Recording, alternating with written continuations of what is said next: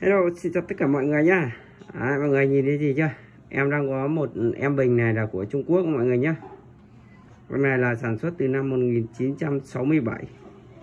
Chiều cao của bình này là 50 cm mọi người nhá. À, bây giờ em sẽ quay lại cho mọi người xem xem có các bác nào mà thích đồ cổ của Trung Quốc thì các bác cứ liên hệ với em toàn qua số điện thoại Zalo là 0962 949 668 đây nhá, đây là của tờ giấy của nó ghi là niên đại và thời na, thời gian sản xuất của chiếc bình này nhé mọi người nhé Đấy. Mọi người nhìn thì rất là đẹp luôn.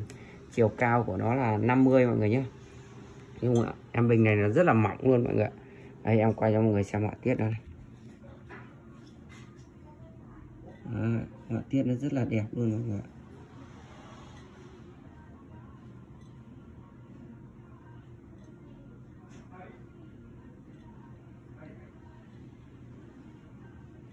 cái bình này rất là mỏng luôn mọi người. Mỏng mà nó nhẹ lắm. Bình này bình bình của Trung Quốc. Ở dưới ờ, chuyện là nó có thư pháp của Trung Quốc nhé mọi người nha.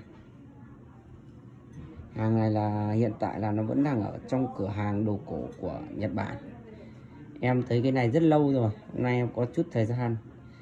Nên là em quay lại xem mà có ừ, ở nhà của bác nào chuyên sưu tầm cái đồ Trung Quốc ấy mà biết mà giá trị về cái bình này như nào ấy thì các bác cứ liên hệ với em. Nếu mà đôi bên này hợp lý mà chốt được giá thì em sẽ lấy em gửi về Việt Nam cho mọi người nhé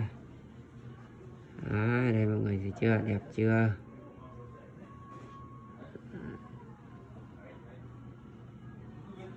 Đó, rất là mỏng luôn mọi người đây. Cái oxy mi tay. Đây đây nha mọi người nhá đây là thư pháp của Trung Quốc đây. Các bác nào dành về cái thư pháp này các bác sẽ biết này. Là chôn đáy của nó này. Cái này là khá là em thì khá là đẹp. Hey, okay. tắt tiêu như cái Đấy, đây. Mọi người thấy chưa? Là nam bên rồi cái trên mắt ừ, Đấy, đây. Chỉ một chút tổ một chút tổ vào cái đấy. đấy mọi người thấy chưa cái này khá là đẹp luôn. Đấy. các bác nào mà muốn sưu tầm em này cứ liên hệ với em nhé rồi em xin chào tất cả mọi người. À, anh chị nào mà lấy thì cứ liên hệ em qua số điện thoại zalo là 0962 949 668 mọi người nhá. À, thôi em xin chào mọi người nhá.